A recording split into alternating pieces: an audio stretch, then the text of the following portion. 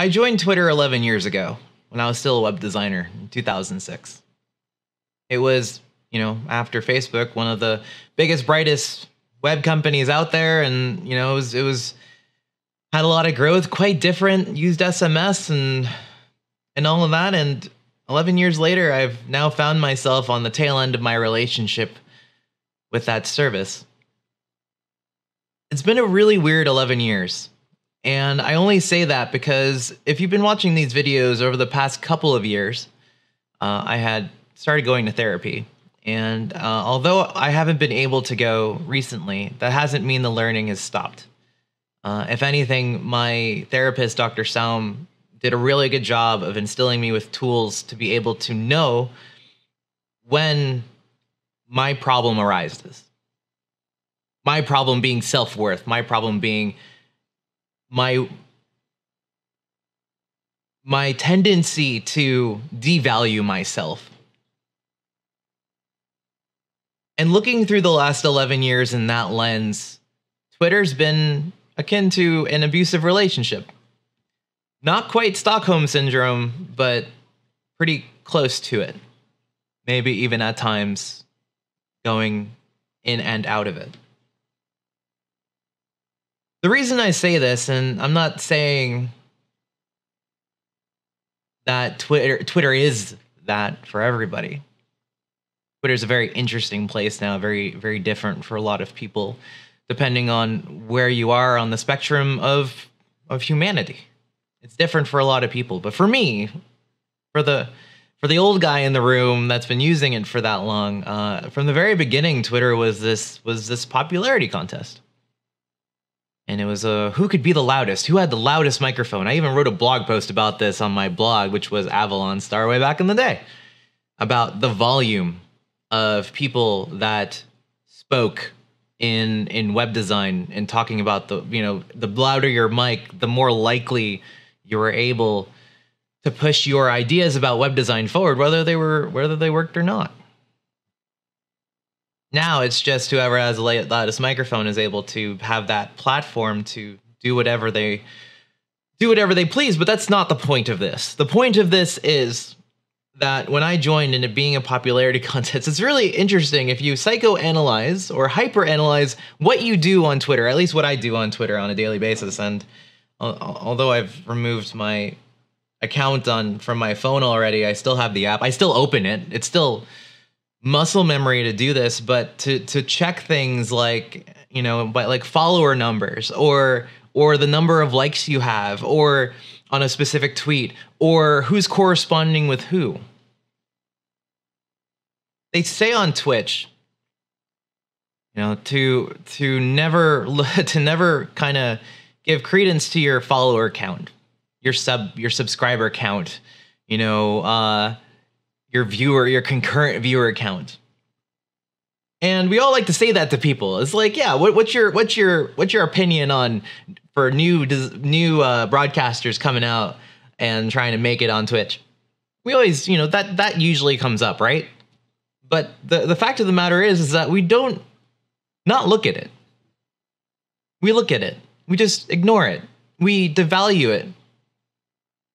And and uh, you know, that the fact that we devalue it doesn't mean the that importance cannot then resurge if you have a particularly bad day or if you have you know a large sub drop.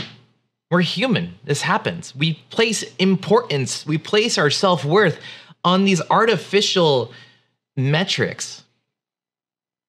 Follower count sub count likes retweets and for some of us, some of us, are, and I envy those people, are able to like really not care about them. Um, my wife, for instance, is, is really good at at not valuing herself against these metrics. But me, I that is me. If you've again, if you've watched me, if you watched my videos, if you've corresponded with me at all, that is who I am. I am that person. I've grown I've grown up as that person. And so to be in a situation, to be on a service where that is all it is, then that's all I've made it to be. And I've generally now, you know, in, in the last couple of years, learned to ignore things like that. Doesn't make them, doesn't solve the problem. It doesn't eliminate those pieces as a factor. I just don't pay attention to them as much. But those are pieces of straw that build up on on the proverbial camel's back. And today, a piece of straw, the lightest piece of straw, something that would on any other day just just place itself broke the back.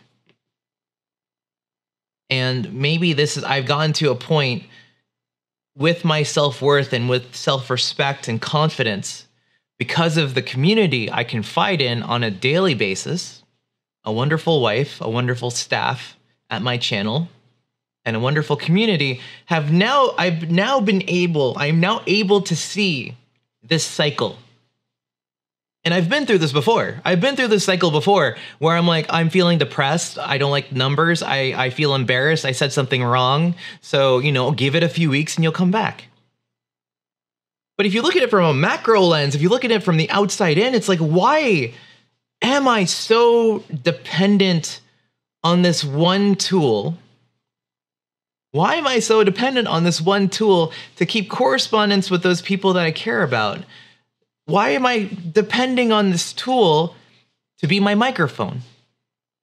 Why am I depending on this tool to determine my worth as a person? And I need that to stop. I don't know how long I'm going to be off of Twitter, but I needed to take action. And in pure Bryan fashion, I did it with, I did it over dramatically, cold turkey, and I like pretty much rage quitted. Uh, that's that's the way that things work for me. And I think if it worked any other way, like I, I wouldn't really be in these problems right, like in this in this you know predicament right now. Uh, a lot of the times in therapy, it took Dr. Selm to deliver that aha kick in the ass realization to be like, hey, you need to change that thing right now. Boom, mind blown. This is what I needed and I'm doing it from a place of like a place of strength because I know if I keep continuing this relationship, I am going to blame people I love for things they never did to me. The things that happen when you're left with you and your phone, the things that you and your phone only know when you're on a service like Twitter. Oh, I don't talk to X so often anymore on Twitter. He doesn't tweet me, but he tweets everybody else. Must not like me anymore. It's not reality. I have one I had three wonderful teammates on a team we called Sidebar way back in the day. Dan, Snook, and Steve. Love them to death. We had a real life relationship working on amazing things together. And then we lost touch. But never for once did I think by not tweeting them I lost touch with them. That that I could not just say, "Hey Dan, what's up? I miss you." Like because we had that foundation in real life.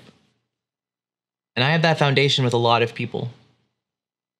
And I did them a disservice in my brain by even thinking that for once they weren't my friend because they weren't talking to me on social media. That's my insecurity. That's in my head. What's causing that? The medium. What do I need to do? You know, find a way to solve. Maybe Twitter, leaving Twitter isn't the way. Maybe I need to evolve a little bit more in order to in order to consume it again. But for now, this is what I need to do.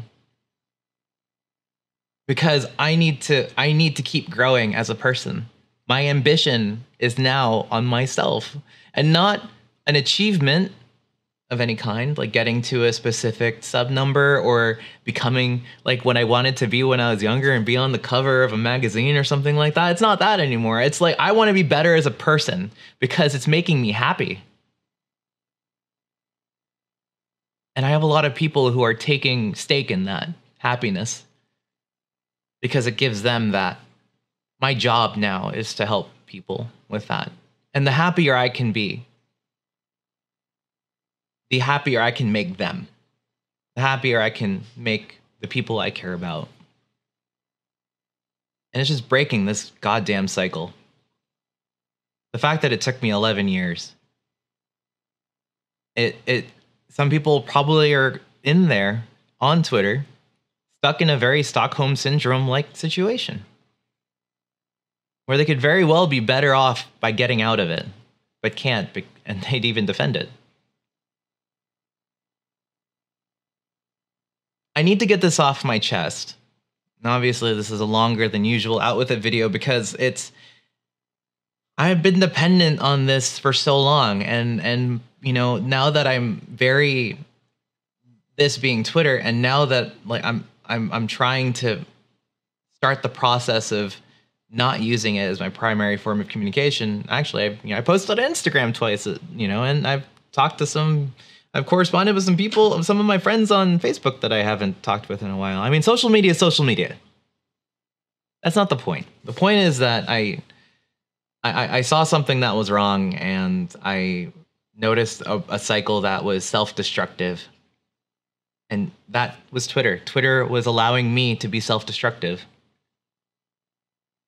I'm taking a step against it. I'm taking a step to stop it. Because I'm starting to love myself. And I'm not going to let an internet service, for a child of the internet, I'm not going to let an internet service determine, let me, give me that fuel to belittle myself. Not now. Not when I'm come, not when I've come so far in the past couple of years. Got a long way to go, but this is just one step, and I I hope it works.